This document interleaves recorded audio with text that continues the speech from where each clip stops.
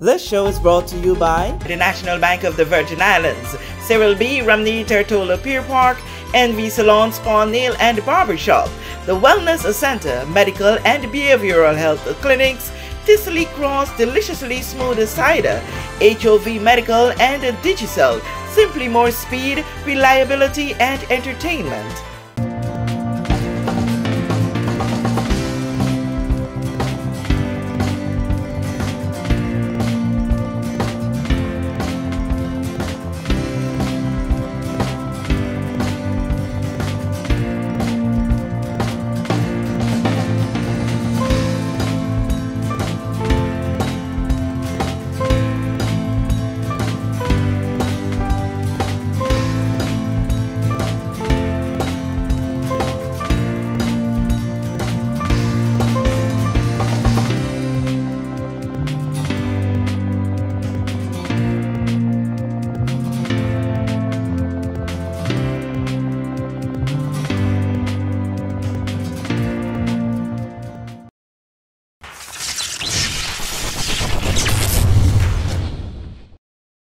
This is the big story. I'm Kathy Richards. want to thank you so much for joining us for this edition. King of the Court Basketball Championship is back, and we have here with us Steve Parlon, the man who's always committed to doing this, and he's doing it again this year. Steve, welcome to the big story. Good day, Kathy. Thanks for having me back again. Feels like I, um, I need a spot in the studio. well, home is home, right? Yeah, yeah. This is my home. This is my home. yeah. Uh, King of the Court is happening again this year. This time it's not on Virgin Gorda, it's on Tortola. Right. Let's get a rundown as to what's coming down this year, what's going into the planning of the event this year. Well, first of all, thank, thank you, Virgin Gorda, for hosting us last year. And last year we were just a three-point shootout, but this year we have expanded the event into a tournament and a three-point shootout. So we're now a little bigger and sorry to say that Virgin Gorda was not able to accommodate this event because um, we actually have teams coming in. Um, last year we had players that came in yeah. for shooting, but now we have actual full teams that are coming in. So we have a, a very excited, excited three days of tournament and shootout and trust me, it's going to be a lot of basketball action. Basketball been missing in action, but trust me, this one here is going to be the one for the ages. Trust oh, me. Wow. I, I, I like how you push the plug there a lot to, to make sure that there is some tourism taking place, you're contributing to that, not just the sport, mm -hmm. but you know, before you brought just a few individuals from different right. countries, now teams and, and a team, each team comprises of no less than what, 12, 13? Right, 12 sometimes. Yeah. yeah I think some are coming with at least like 15 persons. So That's a accommodation for how many teams you have coming? Uh, we have a total of five teams coming in. Mm, which countries? so we have uh, we have St. Kitts, uh, we have St. Eustatia, we have Anguilla, we have Santo Domingo, and we have U.S. Virgin Islands. Oh, wow. Why did you decided to go um, for full teams this year and have full tournaments going on right. this year? So last year, actually last year, I was doing a, um, uh, we was eating at a spot. I had the players that came in, and we were talking about Caribbean basketball, and we were talking about LIBA. If you remember, there used to be a tournament called LIBA Leeward Island Basketball Association. It was a tournament between the Leeward Islands, Antigua, St. Kitts. They were great tournament. That's when I started with the national team. Okay. It was in the 90s, 80s and 90s, and um, it discontinued. But it was like, there were like great um, small tournaments that, you know, they were exciting and, you know, they went away from it. And so we was talking about, man, we need to bring back LIBA because Right now, it seems like FIBA is not really studying the Caribbean islands. There, there haven't been any tournaments in, in, in a bit from FIBA, that's FIBA qualifying tournaments. We have all this talent in the, uh, in the Caribbean. Mm -hmm. We're not, you know, meeting up and, and going against each other. So they say, hey, why not add a tournament to it? So I said, I'm going to look into it. Obviously, you know, doing a tournament is a, is a lot of money, mm -hmm. is a lot of expense. If you don't have the government on your side, not just here, but the different countries is a real struggle for the other teams to come. And it, that's what it has been. Mm. We talk about it, we predicted it, and now it's happening. So there are challenges. Um, what are some of those challenges? Well, the challenges are with a tournament like this. Obviously, the host country can't. We can't afford to fly teams in. Yeah. Still give them accommodation, hotel, food, food and, and all that stuff. So they have to incur uh, certain expenses. So in my invitation, I, I told them that if if we want to make this possible, they will have to incur those expenses. Mm. And then, as we went along, it became so difficult for them. I had to offer them certain um, accommodations like hotel. Some of the teams I'm offering them hotel, some some rooms. Mm-hmm. You know, not all the rooms, but you know, it, it, it made it a little more difficult for me mm-hmm. because obviously the BVI has become a place where sponsorship um, has become very mediocre. You understand? Meaning that you don't get a lot of money for sponsorships no more like you used to back in the days. Mm-hmm. So it's very difficult.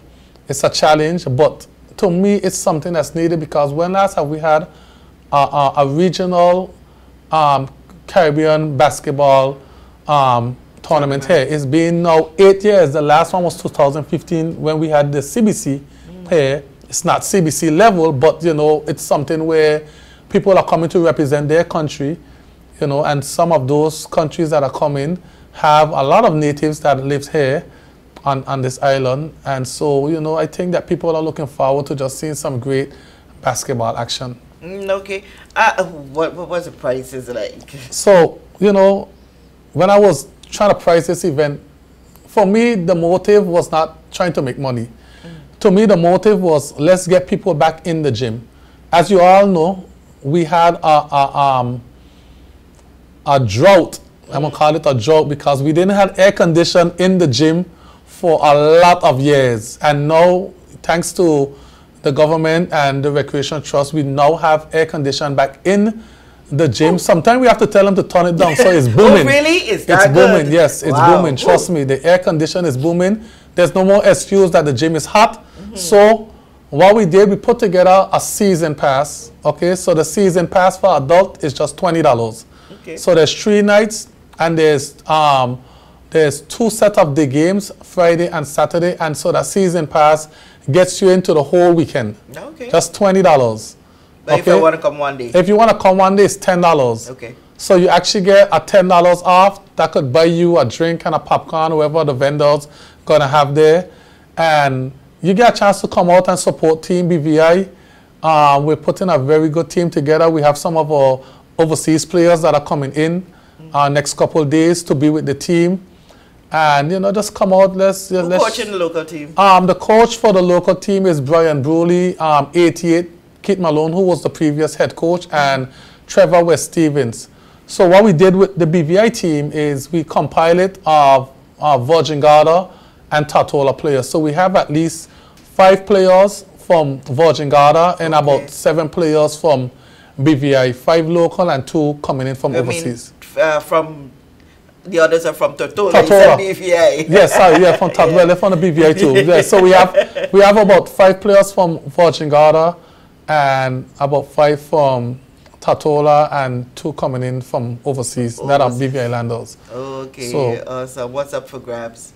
Well, the um the title is King of the Courts, right? Yeah. So we're trying to see who who's who's gonna be the King of the Court. But this is tournament, but we still got a shootout to deal with. We still have the shootout. So on the, on the Saturday night, which is the, um, which is the championship night, we're going to have the shootout in between the third place game and the championship game. So the shootout, I'm going to have one player representing each one of the countries.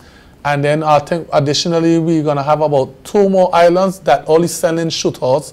Oh, okay. So we're going to have more islands participating in the shootout, but there are going to be six countries in the tournament. So Thursday night, next week Thursday, that's the 30th, we're starting off with a banger. It's Statia versus Santo Domingo and BVI versus USVI straight off the top. Whoa, We're going to see the battle of the Virgin Islands. Who's the real Virgin Islands? Stand up. and you know, we, it's still fresh in our mind what happened with softball? You know USVI just beat us in softball. Yeah. We got some payback for them. I've been reminding the national team every day, guys. this is a big game. This ain't just Listen, you're the about promoter, the game. you gotta be neutral. Listen, I am the promoter. You understand? I am the promoter, and I am me neutral. I am just here with the team, and I'm and I'm telling them that they need to be prepared. You understand? That's that's all it is. So, so the, for the for the shootout, the part. Uh, the persons who are going to be shooting for some of the countries, they they will be coming from the team. They will be coming from, from the team, team of the, the countries. So okay. each team is going to provide provide a shooter that will represent them in the shootout, mm. and that will be on the Saturday night. But it's open to them if they decide, look, I want to bring somebody who's just going. If they want to bring somebody who's just just shooting, just, just, shooting, yeah. they can. But if you really think about how a basketball team is is put together, you always have a designated shooter on a team. Every team needs a designated shooter because you always have to have one of those on your team. So every team is going to have a designated shooter. Mm. You're not going to bring just someone from off the street who could just shoot. You understand? Um, obviously, you're shooting off a rack, so you're going to need somebody who could actually play basketball to just come in and shoot. It just it don't work like that. We have, we had some guys from um, from Virgin Gorda, I think last uh, last time mm -hmm. you had the shootout. Yeah, we Young did. guys that that show real good potential. Right some of them coming back to play. Yeah, actually one of those actually one of those players is actually going to be playing with the BVI team. Mm. One of the young guys, we, we do have one young um, one young player on the team. About I think he's about maybe 17 or 18 years old. Mm. So he's going to be on the team. But for the shootout, we will have a separate Virgin Gorda and Tortola will have separate shooters. Oh, so Okay, so and and USVI gonna have one from St. Thomas and St. Croix because the USVI team is compiled of St. Croix and St. Thomas players. So, so like just for the shootout, yeah, just for the shootout, apart. just for the shootout, we're going we're going to keep it a little personal. Yeah, okay. Yeah, and obviously, um, Rick Victor should be um be coming to um defend his, his uh, yeah, although he's dealing with a little illness right now, I'm not oh. too sure, but he's not he's not healthy right now. Mm. You know, he has an injury right now, but um, oh. we'll see what happens. If not, we'll probably just have to plug in one of the other brothers for him. You know, okay. So yeah. the brother might have to come in and um and try to hold the string. I remember it was a big thing for Ray Victor the last time. it was so funny. Oh, I'm carrying a Guyana flag. I was born again. I carried a Guyana flag. Yeah, well, I mean, yeah. you know, Ray, Ray Victor is actually um, he's one of the key players on the um, Guyana national team. You know, mm -hmm. so he, I mean, although and it happens. I mean, there, there are players who born in other countries, but their native country, sometimes yes. they go to represent their native country. Yeah. And that's why it's very important. As I said, that it's very important, even for us, we have to get our national basketball program back on track because just like how Ray would go and play for his native country, we could have our own BVI players that we could lose the same way. Mm -hmm. Because remember, most and I just want to say most by now because most BVI born players, they have parents that are not from here. Mm. So based on the FIBA rules, they can go back and play for their native country. So we have a really good player here, and let's say both the, their parents from St. Kitts.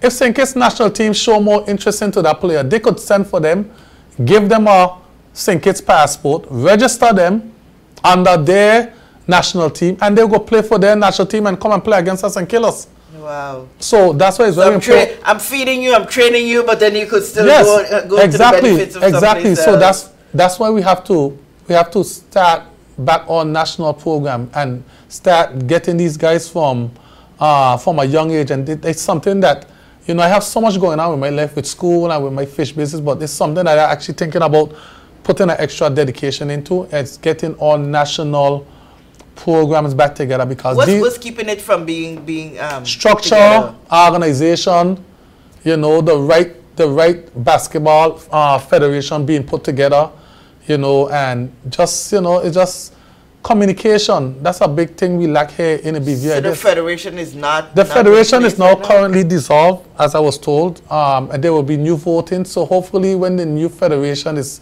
formed, is something that a proposal I'll put forward to them, because the federation governs basketball. Mm -hmm. But to me, when it comes to the national team, to me, the national program needs a separate committee oh. that deals solely with national teams. Okay, so we're forming national teams from junior level up. Most of the big countries, like Puerto Rico and those bigger countries, their national teams are so good because they have national teams from the under 16 level up. So they already know who their national players are for the next 20 years because they know that Rahul is, is doing good under 16 and in the next four years he'll be playing for the senior national team. And as they go up and the ones who are the senior go out and they still keep them on board mm. to help mentor.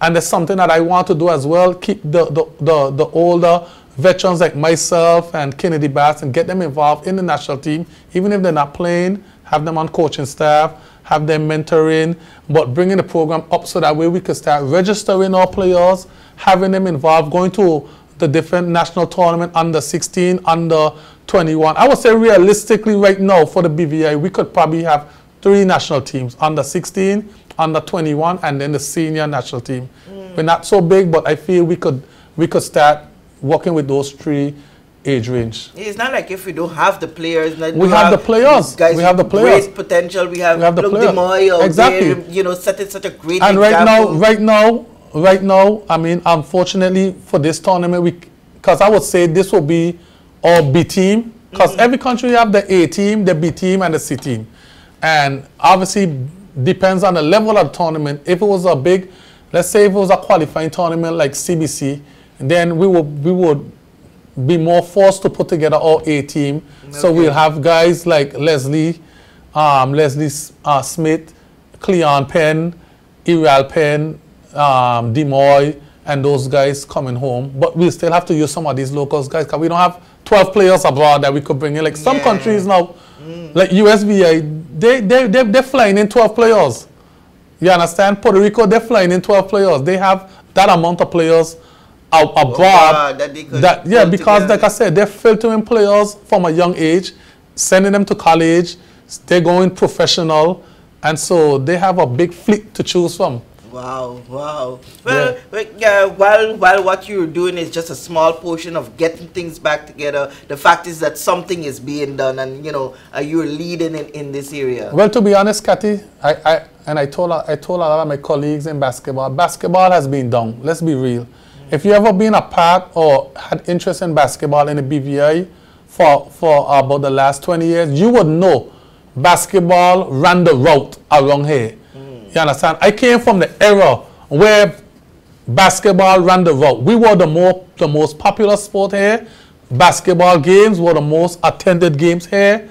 The hype leading up to the league was the best here. Don't get me wrong, softball had a thing, track and field had a thing, but none of them could have contest with basketball. Mm. But right now, uh, basketball is at the bottom, if you ask me. And, the, and I being, being honest, cricket has more hype than basketball right now. They have more attendance. Soccer has more hype, more attendance. Softball, track and field, and basketball, to me right now, basketball has become last. Why? Why do you think that's happening? To me, right, there's a lot of there's a, there's a lot of variables. Number one, I feel like the era of basketball is not the same, and I'll tell you why. When I was growing up, we didn't have all the social media. We found ourselves out in the guts running, chasing fall, climbing trees, and we develop more motor skills. Motor skills deals with your balance, your coordination. Those are natural ability I'm a, I'm a PE teacher at Elmore Stoutt. I could tell you straight up, when students come in into Elmore Stoutt from seventh grade, some of them don't even know how to run properly. They lack that motor skills. And because of that, we lack our athletes coming in a little more prepared to develop a skill into a sport and become great into that sport. So unless you have programs, grassroots programs from young outside of what you would do in school, you will find athletes struggling to become great athletes as they progress into mm. their, their careers or whatever sport they're doing. Mm. So back in our days, like I said, we concentrated more on outdoor sports and everything. So when we became basketball players, we were more um, sound basketball players. We were, we were more versatile than a lot of players now. To me, they're a little behind. And to me, that drop the competition level because oh. we don't have, the competition is not as stiff as it used to.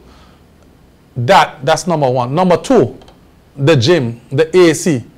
Not having air conditioning in the gym have basically killed the league for the last couple years. People don't want to come in They were great games last year. I played in the league. Yeah. I want my team Mega Mix from the second. We won the championship last year.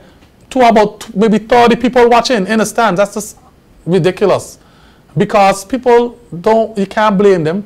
You understand? You're coming into a hot gym, there's no ventilation. We as the players, we are they're struggling as well. We can't play at a high level because, you know, we there's there's no air conditioning in the gym, you're playing in heat. Mm-hmm. So there's a lot of different things that, that added to that. Now, thank God we have air condition. Yeah. No. It's getting better. Now we can we can use this tournament as a platform to get people back into basketball, and then we need to now go to the drawing board and bring back all summer league to a level where people could appreciate basketball again. I, I have a logo that I created. It's called BBB, and I want to start pushing it. It's called Bring Back Basketball. Okay. Okay, and meaning bring back basketball is we need to bring back basketball um, as, as something top in our culture that it used to be. We always look forward to basketball here. The basketball league was something we always look forward to in the summer, coming out, socializing, and even to get all adults. The adults, to me, they don't even support basketball anymore. When you go to basketball, what do you see mostly? Yeah, the young people. The, to me, like the adults don't come out and enjoy the games anymore like they used to. When they used to have basketball, yes, you used to see the young people, but there was still more adults coming to the games than the young people, and we need to get people back into into the gym, into watching basketball, and this is your perfect opportunity because these ain't no play around games. You understand? We have people coming in, teams flying in here, they're coming out their personal pockets to make this possible, and I appreciate them because you know you could send invitations to people, and they could they could they could not have any trust in you or in your product, and I would and I would like to thank them because these these persons who are responsible for bringing these teams, they they saw the king of the court last year. Some of them was here. They saw it was organized. They like the atmosphere. They like the BVI um, interaction into basketball, and they're very hyped for coming. They expect the same thing. Virgin Gorda showed out last year.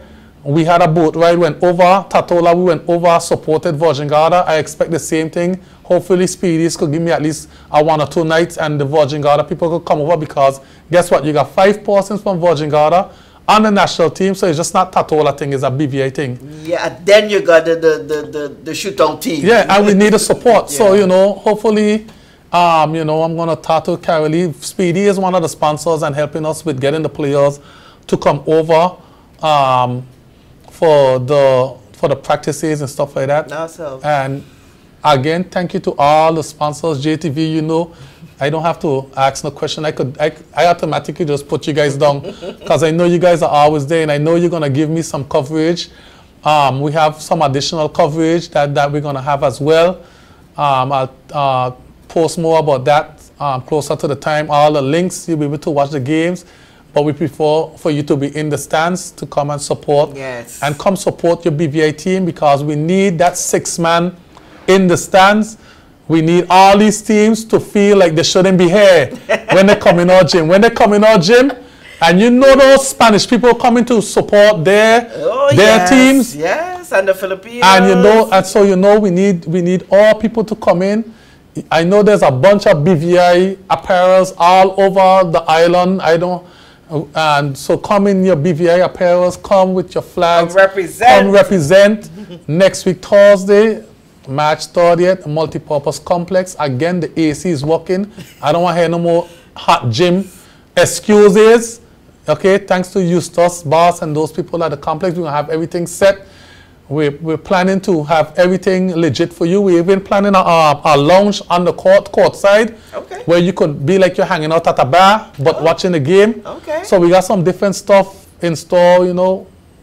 I'm a promoter, so Yeah, you know. You got you got it down, Pack. We, know, we, we can gon- trust you on the Exactly. All right, so so we looking forward to, to everything going crisp, Yes. clean. Everything and- is on track yes. right now. Everything is on track right now. And so just, you know, come and come and support, man. That's it. That's all, All I can say. Come and support. Come and support. Come and and support. Remember the AC working. The in AC working. in the come and support. complex. Twenty dollars up until the la- the first night. You can even buy your season pass. When you come in, you just tell them you want season pass. You pay $20. You don't have to pay again mm. for the weekend. Okay? It don't get no, to me, that's like a layup. Yeah, you know in basketball when you have a layup, like that's if you if you don't get a season pass, mm-hmm. you miss the layup. You miss the layup. You miss the layup. you want to go for a three pointer? Pick three ten dollars each night. That's a three pointer. oh, you can take the layup. $20. You got, you got it all set. All right. So you remember from the 30th to the 31st and the 1st of April. That's the championship uh, night. Yeah, that's the way and you the got to be. Yes, you got yes. to be at the multipurpose yes. sports complex. Uh, it's happening this year yes. on Tortola, and you heard it all from Steve. Yes. Find him wherever he is if you think you need to support in some way or the other because you know we want this to happen. Can I big up? Can I big up all the sponsors real quick? Quickly. Yes. Okay, so we got Ross Reliable Online Services, Edge, Nightclub Bobby's, JTV, Sky High, Infosonic, uh, Fish Mobile, that's my company. Uh-huh. Skeleton Groups of Company, Nagico, um, Caribbean Insurance, Honorable Natalio Wheatley, Honorable Kevin Malone, Honorable Kye Rymer, Honorable Neville Sheep Smith, Honorable Shereen Flax, CCT 284 Media, Mr. Nice Guy, Touchdown, Caribbean Sellers, Bugal, that's going to be your drink for the tournament. So look out for a lot of Bugal this and Bugal that. Okay. Don't get too drunk. Okay. Drive responsibly. quality um, construction, quality air condition, speedies, as I mentioned earlier, and La Casita. So I got a little bit of the Spanish thing okay. involved. All right. you yes. got it like loaded. All right. Yes. So you got it. The dates are all set. You know where you're going to be this week, uh, next weekend, uh, from Thursday, Friday, Saturday, the big night. It's a lime. It's a lime. It's, is a line. Hey, ba- hey, listen, real talk. Back in the days, right, basketball with a line meaning like you see how people go for horses. People come dressed up and yeah, yeah because yeah. basketball is like your intro to the night. You come, you're sharp, you come basketball, the AC, you're going to get sweaty, you're good. And when you're done, you got all kind of lime going on. Uh, so, so we could, we could get a, um, a halftime kind of sign. Uh, because you never like know. Mid, mid games up. All right, so there you have it. It's on next weekend. The multi-purpose sports complex is where you got to be. Steve would have told you it all. So make sure you be there. I want to thank you so much for spending time with us here on The Big Story. I'm Kathy Richards.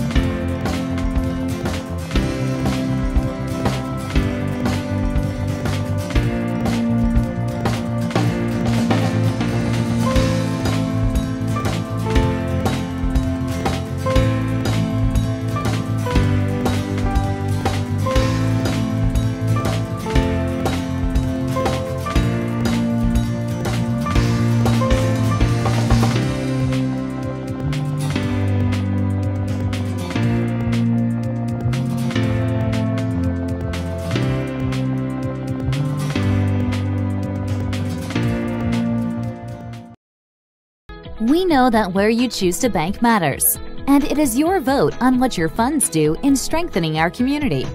As your official Bank of Paradise, we invest and support the lifeblood of our economy by helping in the realization of personal goals for homeownership, education, and entrepreneurial visions, which support small businesses.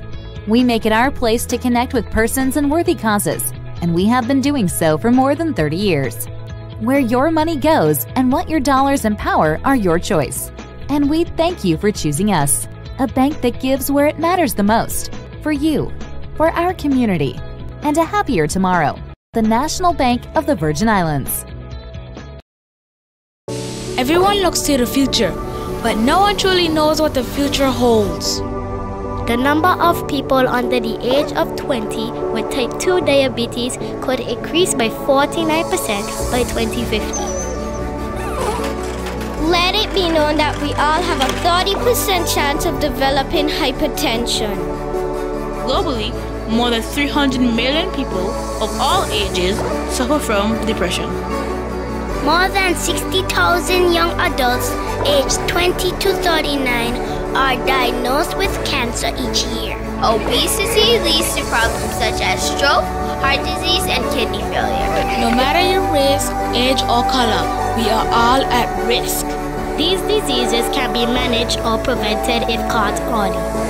but with the right medicine and the right doctors to keep us on a path to live a robust and healthy life.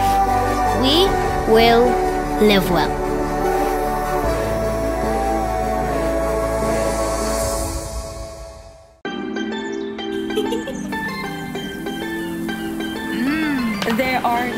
Ways to enjoy life, like so many ways to count on popular. Plug into Digicel Plus and get even more entertainment with Disney Plus included. The best of Disney, Pixar, Marvel, Star Wars, and National Geographic all in one place. Whenever you want, plug into Plus to enjoy Disney Plus and much more with a home fiber bundle. Sign up today. To Digicel Plus.